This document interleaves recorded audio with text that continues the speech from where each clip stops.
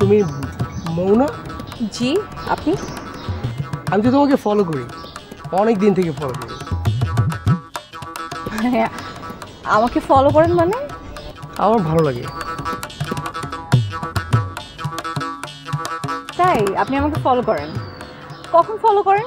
আজকের আগে তো আমি আপনাকে কখনো দেখিনি। দেখবে কীভাবে? তোমার নাম্বার তো আমার কাছে নেই। তাছাড়া আমি তোমাকে ফেসবুকে ফলো করি।